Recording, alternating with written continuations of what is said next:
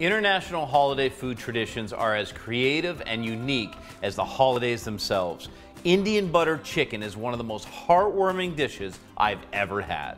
This dish is so heartwarming, you will just fall in love with it. The thing that makes it so great is all of the elevated flavors with the spices. They're truly incredible. Before I mix the spice, I just want to very quickly heat up some butter. Traditionally use ghee or a clarified butter. I like to use just straight butter. First of all, it's something you probably have in the house already, but there are layers of flavor that are removed in ghee that I love to have here in the butter. So on the stove this goes. I'm gonna bring that up to temperature, and while I do, I'm gonna throw together some fresh spices. So I'm gonna take one cinnamon stick, and it goes. Great thing is with a spice grinder is you can really take big, powerful flavors.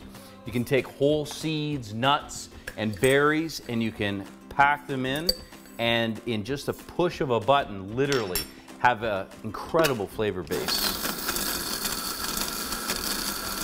As that comes together, I also have a garam masala, and that's perfectly ground, completely and totally fragrant, with my butter nicely melted. And I've got that beautiful nutty flavor that comes from brown butter developed.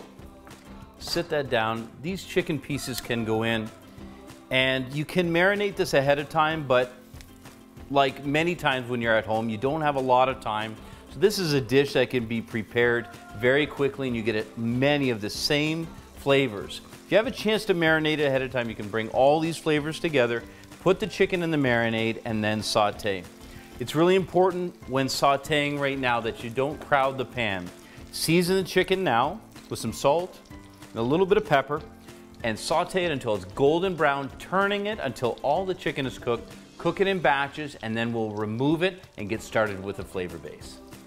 With all the chicken nicely sauteed and browned, and it's really important to brown it so that you get that flavor development first on the chicken before adding in all of the uh, flavor base. So just pull that out, leave the little bit of fat that's left inside, and now I'll add some onions. I've got some jalapeno peppers, some ginger, lots of heat. Chopped garlic, it smells incredible already.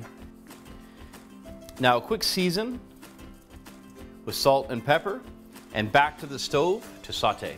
These veg are sauteed nicely. I love the high size of this Cast-Lite cookware. Now it's time for the spices to go in. So I'm gonna put some of my mixed spice in, some of that beautiful coriander. It's important to do it at this stage so the spices become toasted, they become fragrant, and they, it really brings them to life. Then some of the garam masala, beautiful. And just a, another toss there. And you can smell it. It's it, that heat is radiating. That's a nice thing about this Cast-Lite, cast iron combination cookware is it holds the heat and continues to radiate. Let's deglaze with some chicken stock. And you can see even off the stove, I'm able to deglaze. Mix that up a little bit. Now, the chicken goes back in with all those beautiful juices. Gorgeous. Gonna put that back on the stove with the coconut milk. Look at that. It's just beautiful. This combination of flavors, it's just honestly, there's nothing like it. Give it a good stir, Mix that up. I'll put it back on the stove, and when it's tender, about another 10 to 15 minutes, I'll finish it up. Look at this. Isn't that beautiful? I'm gonna finish by just pulling some of these coriander leaves. I like to leave the leaves whole, just like that. Just pulling to finish. Some cashews. I'm just gonna turn that over once just to activate all that flavor from the coriander, fresh cilantro. I have to have a taste. Oh, it's hot.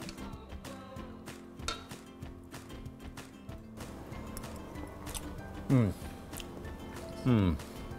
That is a perfect Indian butter chicken.